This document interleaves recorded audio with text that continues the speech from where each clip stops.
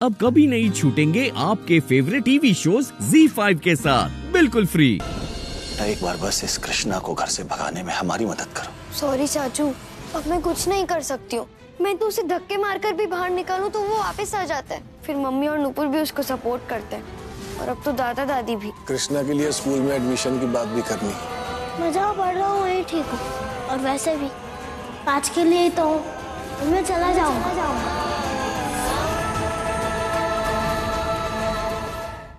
Z5 app download करें और देखें सारे एपिसोड्स बिल्कुल फ्री